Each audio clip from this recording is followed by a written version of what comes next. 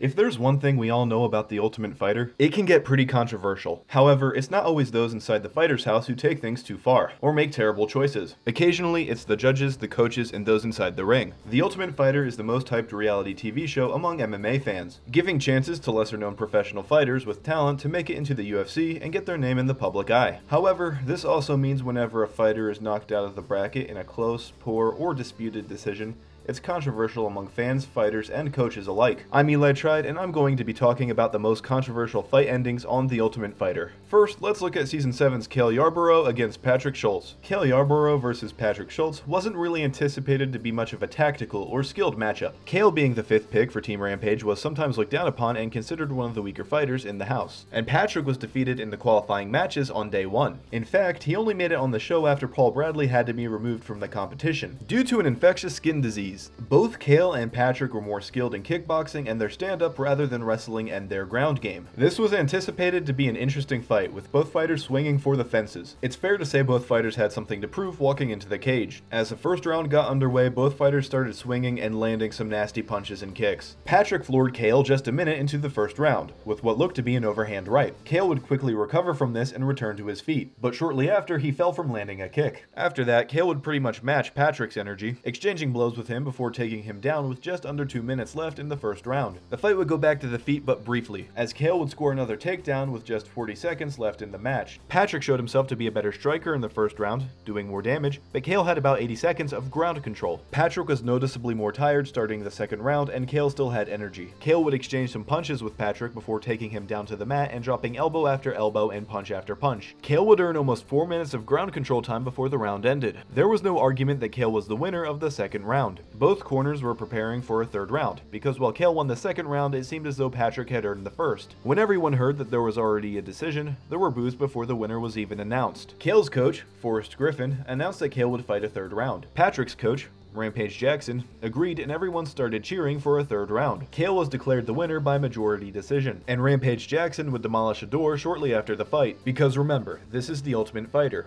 Rampage Jackson is contractually obligated to destroy a door after one of the fighters he's coaching loses a fight. Most people had Patrick up in the first round, not only because of the two times he made his opponent fall, but also because while standing and trading, Patrick was landing harder shots on Cale and clearly outmatched him standing up. Cale's short amount of time on the ground the first round wouldn't negate that. I'd find it hard to believe that a majority of judges would have scored the first round for Cale, but it's entirely possible that the first round was scored 10-9 for Patrick with Cale earning a 10-8 in the second round. Regardless, the fight was razor thin and the result sparked anger among many. Then there is the case of Season 5's finale undercard between Gray Maynard and Rob Emerson. This fight was between two fighters who previously were eliminated, but were brought back to fight each other on the undercard in the finale between the two finalists, Nate Diaz and Manny Gamburyan. The fight aired with the Ultimate Fighter 5 finale, and both fighters were cast members on the show. Gray Maynard would take on Rob Emerson. These two fighters had contradictory fighting styles, as Rob is primarily a striker and Gray is a wrestler. However, both fighters were skilled in a variety of styles. The fight had an exciting start, with both fighters throwing bombs at each other right out of the gate. This didn't last long though, as Rob would take down Gray early, but soon regretted it, as he was being outclassed on the ground. Rob would try to stand up and bring the fight back to his feet, but was pulled down by Gray. Gray would attempt to slip in a guillotine choke that Rob would barely slip out of. Gray would land some nasty knees while on top later in the fight. As Gray stood up with just over a minute left in the first round, Rob would attempt a heel hook. Gray would exact his revenge by punching down and doing quite a bit of damage for the rest of the round. While Rob did a good job surviving and minimizing the damage he took, Gray easily won the first round. The second round was short but brutal. Rob was hurt going into the round, and Gray would land a punch that made Rob stumble back. After that, Gray picked up Rob and slammed him on the mat. Rob would tap after that. The pain he sustained during that slam rendered him unable to continue, and Gray had won the fight.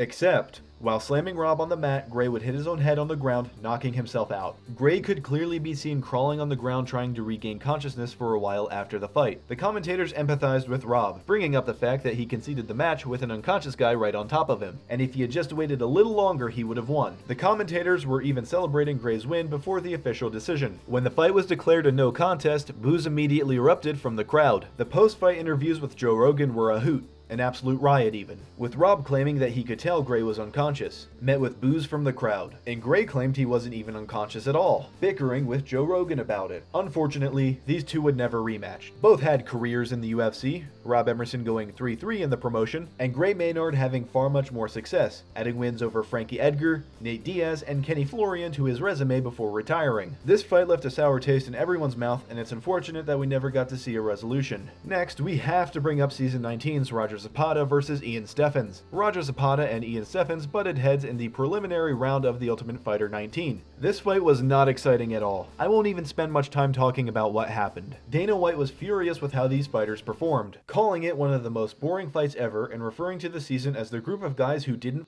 won it. I can understand the sentiment, because all three rounds between Roger and Ian went the same way. Ian would bring Roger down and hold him there, while Roger would spend the entire round trying to hit him with the little mobility afforded to him. Despite this, Roger landed a few hits, and although it was a boring fight, I can't say no damage was done. Ian is a blonde, but looked like a ginger by the end of the fight. The main reason for this is Roger was dropping elbows downwards onto Ian. This is debatably illegal, depending on which angle the elbows are coming from. In the middle of the third round, round, the referee, Steve Mazzagatti, deducted a point from Roger for an illegal elbow and temporarily stopped the match. Dana White, among others, criticized Steve Mazzagatti for this call, because he didn't officially warn Roger before taking a point. At this point, Dana White walked out of the gym, and missed one of the craziest and stupidest endings to a fight ever. After the point deduction, things were not looking good for Roger, as the fight went to the judges. The judges ruled the fight a majority draw, with two of the judges scoring the third round 9-9. The one dissenting judge scored the match 10-8 in favor of Ian. Normally, fights like this would be called a draw. But since there needed to be a winner, it was decided not that Ian Steffen should get the victory because of the 10-8 score, or that the fight should go to a fourth round. It was instead decided that all judges would be handed a piece of paper with the two fighters' names on it, and they would be directed to circle the name of the person they thought had won the fight. In fashion with all the madness, Steve Mazzagatti announced Ian Zapata to be the winner, before clarifying that Roger Zapata was the winner. Tiebreakers are not usually decided like this, and the ruling is officially considered a draw because of the way things turned out. The controversial decision caused a lot of animosity between the two teams, with Ian's coaches and teammates arguing for him and telling him he was robbed, and Roger's coach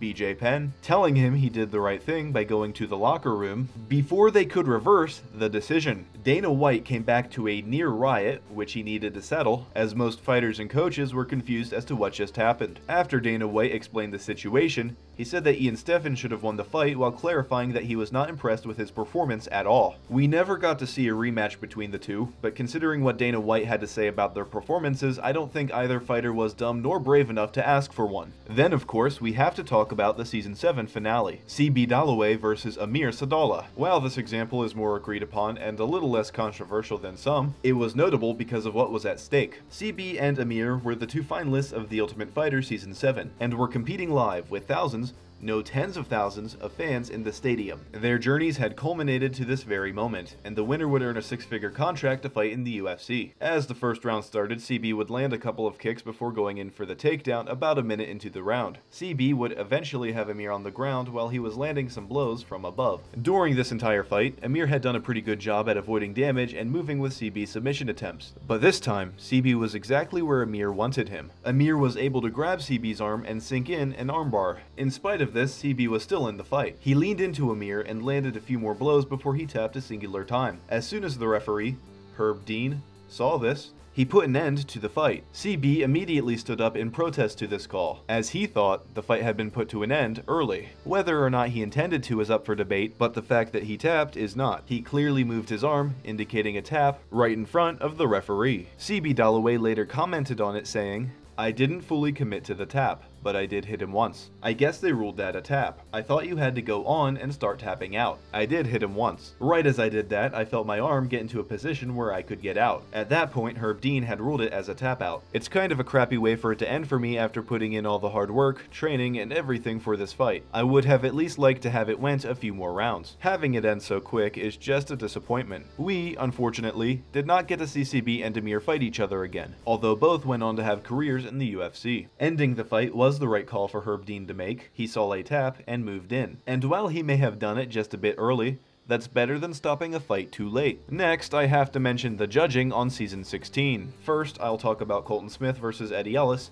then Michael Hill versus Matt Secor. When most fans remember season 16, they'll remember that the judging was particularly awful, and a few controversial decisions were made. I will focus on two of these poor decisions made back to back. The first decision that was controversial was Colton Smith versus Eddy Ellis. Eddy Ellis had won the first round pretty convincingly, but Colton Smith did even better in the second round. Most people had expected the fight to go to a third round, and were confused when they found out the fight had already gone to a decision. Colton won because the judges scored the second round 10-8 in favor of him. Dana White was irritated with this choice, saying that they're handing out 10-8s like they're candy. The second controversial decision was the one presiding over the long and boring fight between Michael Hill and Matt Secor. The first two rounds ended with a judge's score of 19 to 19, so they took it into a third round. While a close round, most people think that Matt Secor won, but the judges scored it in favor of Michael Hill and gave him the win. And finally, the most controversial endings on the list are Season 11's disqualifications. The Season 11 disqualifications were something truly unique. There were only two times in the history of The Ultimate Fighter that a fighter was disqualified in a match, and both of them happened in season 11. The only other disqualification that ever happened on the show is when Richie Smullen faced kidney issues due to intense training and his weight cut, forcing him to withdraw from a fight in season 27. But this disqualification happened before the fighter stepped in the ring. The two disqualifications that happened in season 11 were the results of illegal strikes, rendering the opponent unable to continue. The first disqualification happened in the match between Casey Uscola and Rich Attonito. Casey and Rich started the round by exchanging a few blows blows, neither of them looking for a takedown. Rich would drop Casey with his punches a minute into the first round, and would immediately start hitting him from above. Rich landed an ungodly amount of punches, drawing blood before Casey managed to get up with 3 minutes left in the round. Casey would stand for 2 seconds before being slammed back onto the mat in the most brutal fashion I have ever witnessed. He got dropped like an NFL rookie with a concussion. He was slammed harder than you guys should slam the subscribe button. After that, Casey managed to get a hold of one of Rich's arms and went for a submission. Rich Rich managed to escape, and while he was getting up, Casey hit him with a knee to the face. That was the illegal blow that ended the match. Rich was dominating the fight, and it got ended with those strikes to the face. Dana White said the referee and judges made the right decision, while Casey's coach, Tito Ortiz, was furious. Casey would go on to say that he respected Rich as a person, but not as a fighter because he thought he was looking for a way out. And after seeing how the fight was going, the only thing I think Rich would have tried to get out of is explaining to Casey's dentist what happened to his teeth. Rich later had to drop out of of the competition due to injuries he sustained. However, that can't really be blamed on Casey because it was an injury to his hand. The second disqualification occurred between Brad Tavares and Seth Baczynski. The fight had a bit of a slow start, but Seth landed a few blows then went for a takedown. He took Brad's back right after that. Seth would be able to get over 2 minutes of ground control before Brad was able to slip out. Brad got into a position to ground and pound with just over 90 seconds left in the first round, and he needed to turn things around. Brad did not have much luck with his striking, so he went back to wrestling. Seth, being better on the ground,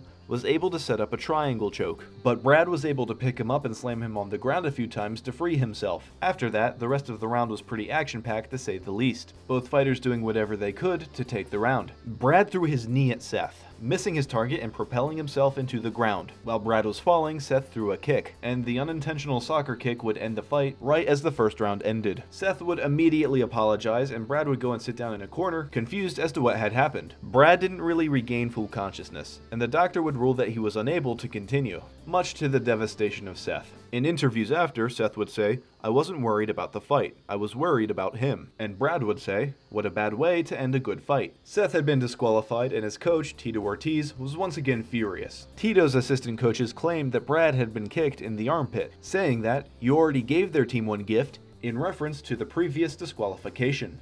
He was later disproven by the replays. This angered Rich, who saw this as disrespectful because he had been kneed in the head. After that, a shouting match ensued between Chuck Liddell and Tito Ortiz. Chuck Liddell hopping in to defend his fighters against insinuations that they were faking their injuries. The altercation would end with fighters and assistant coaches holding the two men back.